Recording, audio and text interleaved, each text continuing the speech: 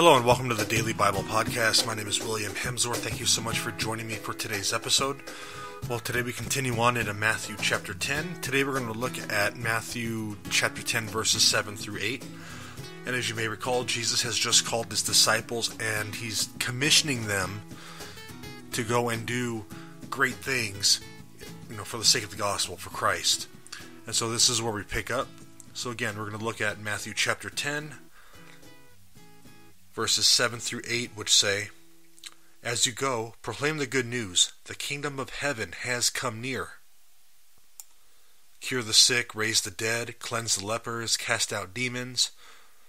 You received without payment, give without payment. So, key thing here is Jesus just got done, you know, curing the sick, raising the dead, all these types of things in Matthew chapter 8 and Matthew chapter 9. And here we are in chapter 10. He's commissioning his disciples to do the very same thing.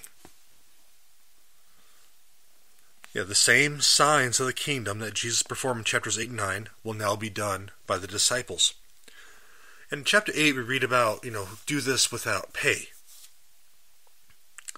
So the kingdom was given to the disciples freely and to sell that message would insult God and would not the and it wouldn't give the impression that the gospel was a free gift. You know, Jesus tells them later on in the next couple verses that their needs will be sustained, that they will be provided for. Now Paul later later on in the New Testament, Paul refuses financial support from those from those that he came to evangelize, while he accepted support from the more established churches, and he also directed them to provide for their teachers. And we see that in a few places. One is 1 Corinthians chapter 9 verses 12 through 18, Philippians chapter 4 verses 14 through 19 and Galatians 6 6. So this is not an admonition from Jesus to not to not, you know, give donations or to pay the disciples. What he's telling the disciples is not to sell the gospel. So if someone were to come up to the disciples and say, um, you know, I want to learn more about Jesus, and the disciples say, well, great, give me a steak first. No, that's that's kind of what Jesus is talking about. If someone were to, you know, it's kind of the same today. We read in the Gospel of Luke that the laborer deserves his wage. So those who work in churches, are priests, are pastors, etc., that's their livelihood. That is how they feed their families. They're not they're not getting rich.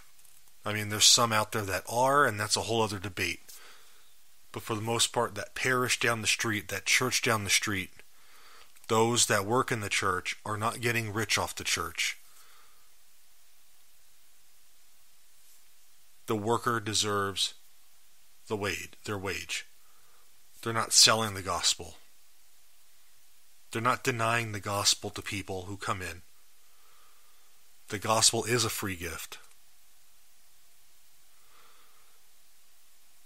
So let's not go, let's remember that the gospel is a free gift for all of us. And that free gift should be freely given to others. Let's tell people about the gospel. Let's tell people about Jesus.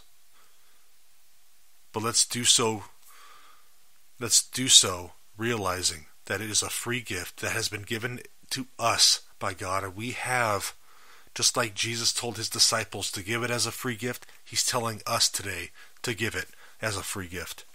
God bless you guys. Thank you for listening to this edition of the Daily Bible Podcast.